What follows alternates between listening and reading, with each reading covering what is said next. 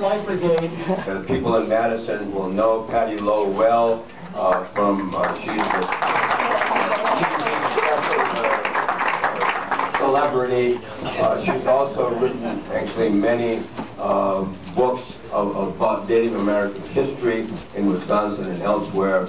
And in in Wisconsin, we love Patty Loew.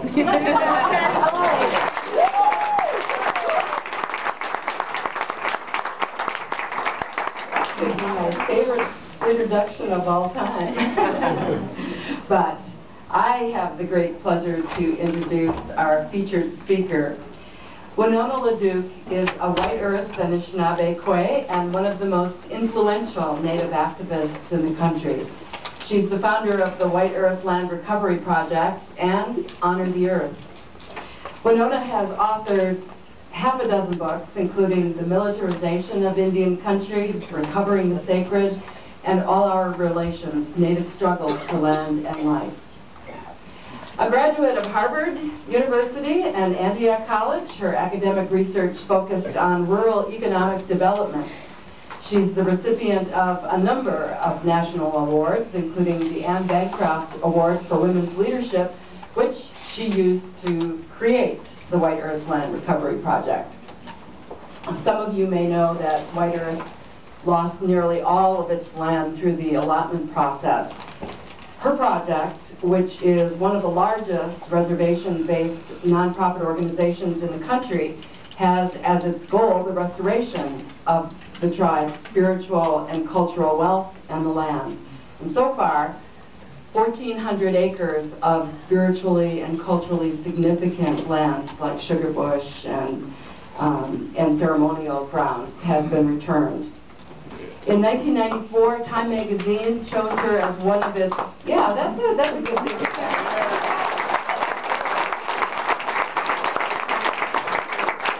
In 1994, Time Magazine chose her as one of its 50 most promising young leaders, and boy, were they right. Three years later, Ms. Magazine named her Woman of the Year. She's been collecting accolades ever since, yet Winona is humble in her celebrity and very generous with her time, lending her support and networks to environmental and social justice issues like this one. She is a mother, having raised six children, and dozens of young people call her grandmother. Before she takes the podium, we are going to show you a video called Honor the Earth, Triple Crown of Pipelines. This was part of the horse ride for Mother Earth. So we'll show the film and then uh, Winona will speak.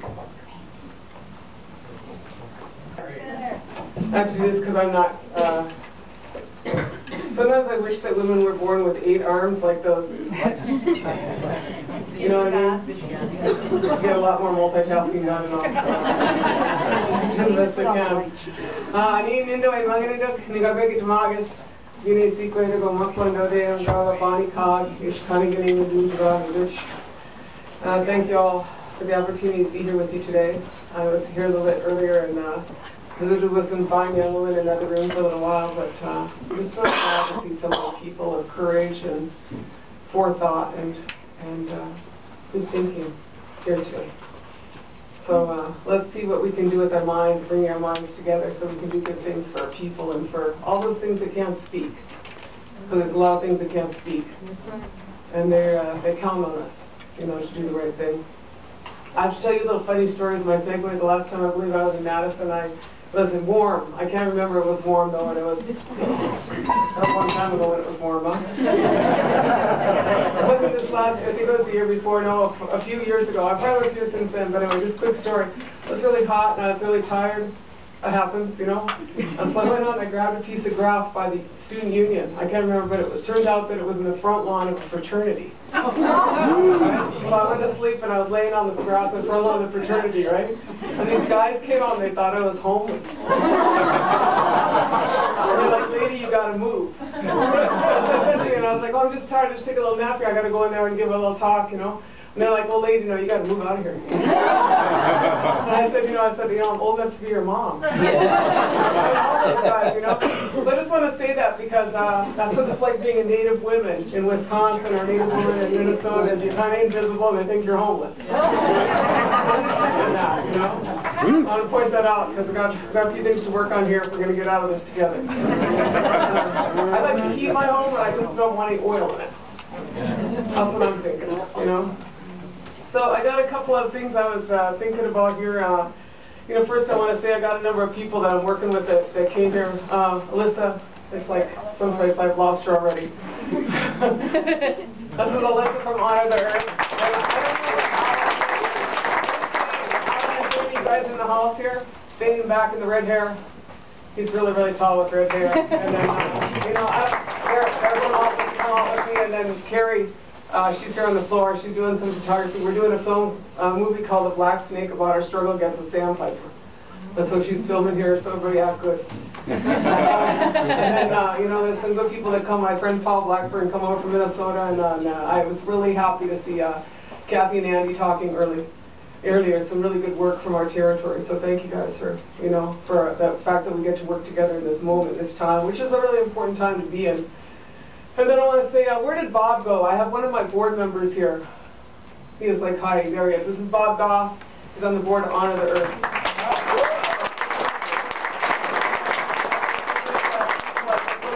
And uh, I did leave all six of those children and 17 grandchildren, or however many claim me this week home. That's next time.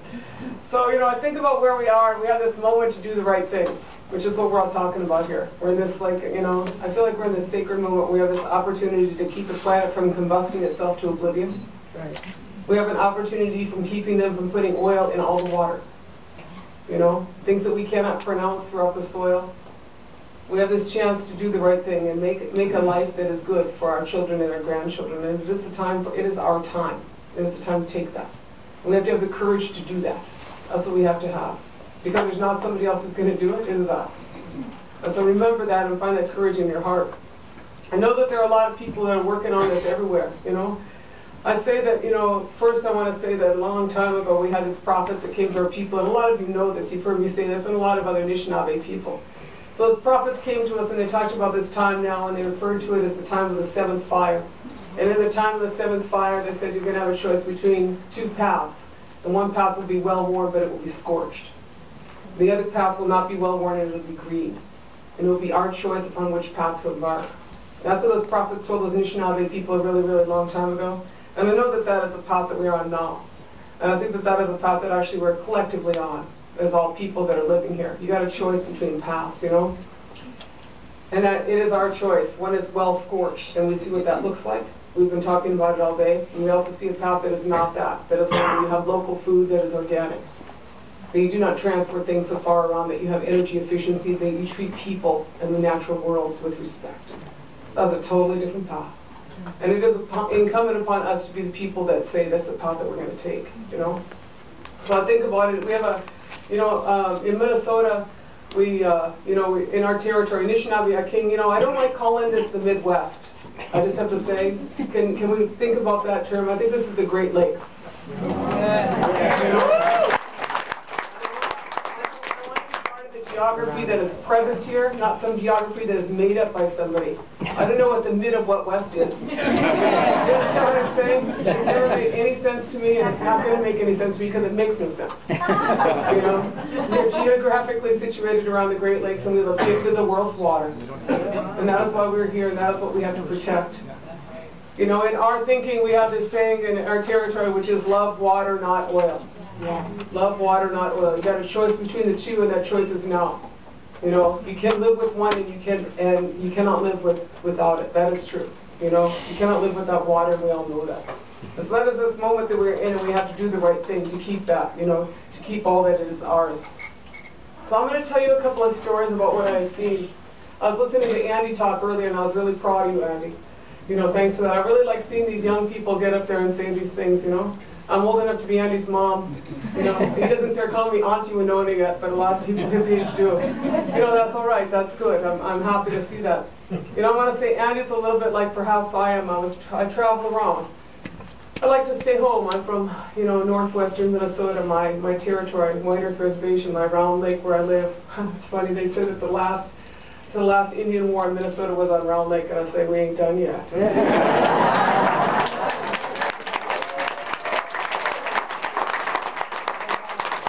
I'm from, I'm from Lake. Um, But, uh, you know, what I, what I want to say is that I think I've become a, you know, we have to be bards.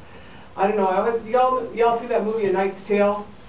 Okay, I watched A Knight's Tale. You know that guy who shows up, he's all naked at the beginning? Yeah. He's like kind of confused. He has great, has a great story though, but he like starts telling these stories of what people have done. You know, and in a way, that's what we're doing with our social media. That is what we must do here, we must do to each other. So we must tell stories of what is going on on all these trails, you know? And um, I think it was uh, my colleague Carrie there, she asked me to say something like, if people are tweeters, I don't know what tweeting is. I mean, I just understand the basic idea. But she, she wants to see if people can tweet love water, not oil. Is that what she said? And take a picture? Oh, no, I don't know. Just either way, tweet love water, not oil, just to see what that is. Is that right? It just helps everybody find each other on the issues. Okay, she says that helps everybody find each other in the issue. I don't really know what that means. But you know, some people are those people that do that, so please do that. I'm really last, last century person. Working on it. But this is what I want to say, you know, is in being a bit of a bard. That's what I decided. I feel like, but you know, I got more clothes than that one guy did in that movie. But, you know, you go along and you, and you have this opportunity to see people along the route and to see what is going on. And I want to tell you what I saw because I've been to the, in many ways to the beginning and to the end of what these black snakes look like. You know, and that's what we call this in our territory. We call this the black snake. And there are prophecies in our territory, prophecies in Lakota country and in Anishinaabe country about the coming of the black snake. And what I'll tell you is, is that in our prophecies and you know in our ceremonies, I went to a lot of ceremonies on this, and I and I asked like, what what were we supposed to do? You know, there asked some spirits on some of those things, and you know what the spirit said to me? The spirit said, "There's a reason it's in the ground. There's a reason these things are in the ground." And we have to remember that because we live in a society which feels entitled to take things that should be in the ground and take them out. And we need to challenge that paradigm because that paradigm is not sustainable. You cannot keep taking things out of the ground and expect going to work out for your water or for your land or for the things that we don't understand about how Mother Earth lives. There's a reason that copper is in the ground. There's a reason that oil is in the ground. There's a reason that carbon is supposed to stay in the soil and not go in the air. Right? Those are the things we know. And we have to really challenge this paradigm that says you keep taking things out and it's going to work out right? Because that's not true. You kind of keep taking things out. But to keep that in mind, because a lot of us, I think we end up in this era now where I see a lot of people going, wait, I just want to stop this one thing or stop this one thing, you know? Or like, wait, you know, I mean, my impersonation of Minnesota politicians is like this. it looks like it's coming our way. Let us do this. That's really not a strategy. you know, it's time to grow up. You know, so we've entered this era of extreme extraction. And I think you guys probably been talking about that. I did not spend all day talking about it, but what I'm saying is, is this, we've entered this era where we have taken so much from Mother Earth that anything we take now is is not taken given to us willingly. You know, extreme extraction is when you take off the top of 500 mountaintops in Appalachia. You know, and you blow off the top and you call it mountaintop removal. Extreme extraction is when you drill 20,000 feet under the ocean to take out some oil that should be staying down there, and then you have a problem like Deepwater Horizon, and you go, oh, sorry, I'm not gonna mess that one up, right? Extreme extraction is the tar sands, and extreme extraction is fracking. Fracking is rape of Mother Earth. That is what fracking is. There is no other way to describe what is occurring with fracking. When you take the frac sand that I just saw, we just drove by there, we were over in Winona, my other, my, my hometown there in Minnesota, you know, down in that whole area in southern Wisconsin, what you call Wisconsin and Ho Chunk territory is what I would call it. In that territory, they're taking that sand, and you all know that. They're taking that sand, they're putting it on trains, and they're loading it, and then they're taking it out there, and then they are taking these these engines, and they're putting together, and they are they are taking those chemicals. They're taking 600 chemicals they do not have to disclose, and they are taking that sand, and they're taking it down, they're exploding the bedrock of Mother Earth. That is what fracking is. That is how extreme it is. It is extreme rape of Mother Earth. That is what is occurring in fracking. And yet what happens is that because it happens in places like North Dakota where people do not go. and they're like, well, I'm hoping that's going to work out. You know, this is me even in Minnesota until a few years ago. I was like, man, that looks kind of bad. I'm hoping that's going to work out in North Dakota. I'm hoping that's going to work out. you know, there's two things I'd say about that. One thing is, is it's, you know, it's a lot like the analogy I think of is a lot like when you know that there's a child being sexually abused in a, in a household that is near yours or in your extended family, and you're looking at that child and saying, that's a bad thing, I think that's happening over there, and I hope that works out. Yeah. That's what this is like. That's what this is like. And it's not the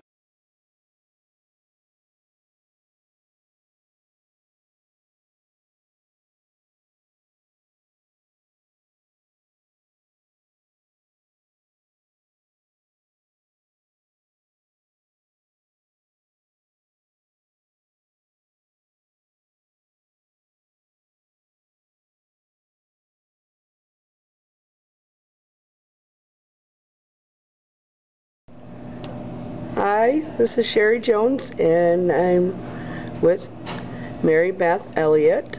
And Mary Beth is going to tell us about her organization that she's working with here. lots of different things going on. In our particular fight with uh, Enbridge Line 61 uh, in Dane County, uh, Enbridge Line 61 throughout Wisconsin is expected to carry 1.2 million barrels of uh, tar sands oil uh, per day, 1.2 million.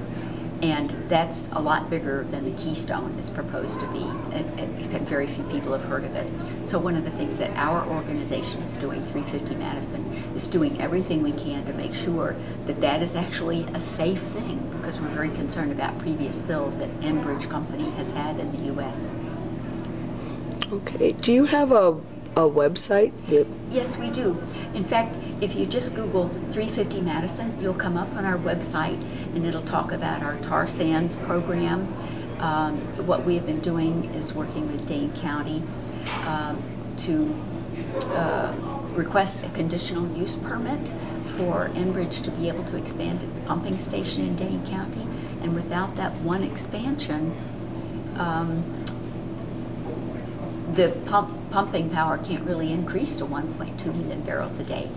We want Enbridge to get sufficient insurance. We feel they're way underinsured, and the citizens and taxpayers of Dane County will be left holding the bag if there's a terrible oil spill that'll ruin farms and property and homes and wetlands. And so that's been our major emphasis for this year although 350 Madison is a climate change group, we don't want the amount of CO2 in the atmosphere to be greater than 350 parts per million, or there will be very severe consequences for humanity and the world. And it's already up to 390, as far as I remember. I could be a little bit wrong on that number, but it's already above 350.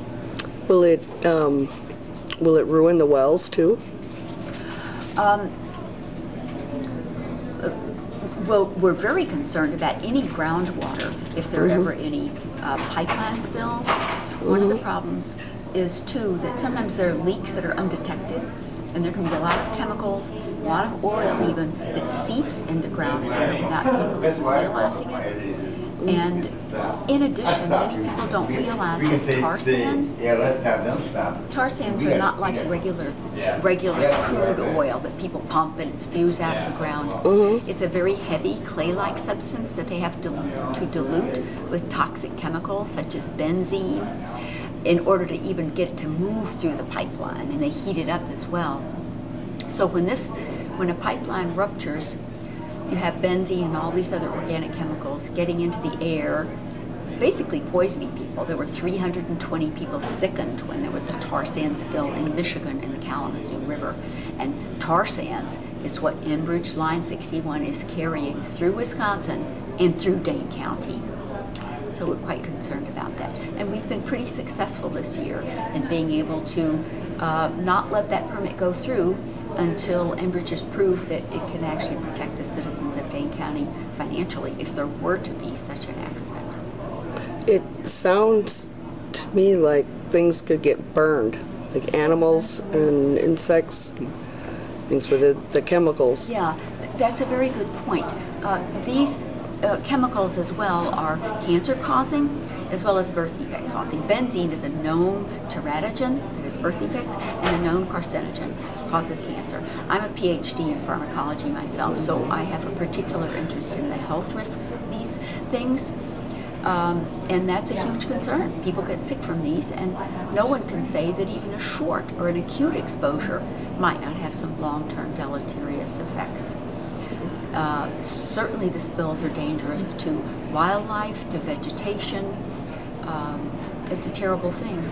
And a large concern is that tar sands sink to the bottom of the waterway. So it's not like it floats and you can skim it off. It sinks to the bottom and can almost never be really effectively cleaned up. And in the Kalamazoo River, the tar sands sank and it's not even 100% cleaned up yet, even after $1.2 billion has been spent for that. Sounds like it's pretty heavy. It is. It It'd be is hard to get out. It's hard to get out, and like I say, the diluents, the things they dilute it with, the toxic chemicals, are very concerning as well. The companies used to say that this is proprietary. We won't tell you what our diluent is, but in fact, we did get Enbridge to tell us what is the list of all the dilutants, and it includes benzene, as has been suspected, along with a lot of other toxic chemicals. So there are threats on so many different levels the threat to people, land, water from an oil spill, uh, the, the risks of these toxic diluents, but as well, the boreal forest in Canada is being destroyed by tar sands mining. They take a whole part of, they take uh, forests, get rid of them, get rid of the topsoil. They leave toxic tailing ponds with caustic liquid in it where ducks fly in and all and die. Hundreds of thousands of waterfowl are being killed in out in Canada because people are digging for these tar sands and then they ship them through these pipelines. So it's it's bad. And then of course when we use tar sands as fossil fuel to run everything instead of renewables, that's bad for the climate as well. Do you know what happens to the um, the animals that that and birds that aren't born yet after they're born after a, a female has has been um, exposed to it, say, and she has babies in her. Uh, what birth Well, defects a will lot, happen? A lot of different things can happen. It depends on, on the chemical, but um, there are some kinds of chemicals that are called endocrine disruptors, and it just means that they have they can have effects like the estrogen hormone, which is normally it's a normal hormone in women, and it's present to a teeny bit in male animals as well. But when you have chemicals that kind of mimic that and act like like hormones, sometimes they can cause very bad effects, birth defects, and other problems. And even aside from that issue, uh, oil is directly toxic to animals. We've all seen, you know, oil-covered birds, and it would decrease reproductive rates. The other thing it does is to um, disrupt flight paths. If you have, um, uh, if on the eastern flyway or the uh, there's also a, a, a prevalent uh, flyway in the middle of the country. When birds are migrating, it can be very dangerous if places they're used to landing and being able to, to eat so they can make the rest of their trip. Yeah. If this is ruined. So there's just lots of danger all up and down the line. There are many beautiful birds that migrate from Canada to the U.S. and back that are being absolutely slaughtered. It is a, it is an ecological sacrifice zone in Canada. I had seen some ducks a few years back, uh, and they were their beaks were deformed, their feet were deformed, and I wondered what happened here. What happened to these birds? And and the only thing I could think of is something toxic like this. Yeah, and the fact is, you know, dinosaurs died millions of years ago, and we all know that that's why you've got these fossil fuels in the ground, and that's where they should stay, regardless of whether you're using a train or a pipeline. Leave those fossil fuels in the ground because every time you bring them up, they're going to go into the atmosphere and it causes, it causes global warming. Something else that people don't understand is that even if, aside from the warming, fossil fuels, CO2 in the atmosphere makes the ocean acidic. So that's why mm-hmm. Uh, many coral reefs are dissolving, and many of our oceans now are becoming jellified. Jellyfish are taking over many, many of the beaches in the world You have different fish uh, with global warming and with acidification of the ocean. So there's so many different ways that fossil fuels that are brought out of the ground in whatever way, whether it's coal uh, or, or, or crude sand, crude oil, are harmful for the environment as a whole. How can people get a hold of this petition to find out more about it or to sign it? Facebook. Okay. They can go to Facebook. Face, Facebook, uh, basically, if you Google on uh, divestment or fossil divestment or Will it uh, was it on the 350 website? Yes, if they, Yeah. Okay, if they look at okay. 350 Madison, right. they will have a link there. Okay. Yeah, or 350madison.org or Okay. Facebook 350 Madison, and they will have a link to UW's. uh, and petitions to get them to divest. Okay. And you are? I'm Kermit Hovey. I'm, among other things, a volunteer at 350madison.org. Okay. And I'm Dave Davis. I'm uh, kind of a remote member of 350 Madison. We live in Illinois. Okay. I'm Sherri Jones. Thank you.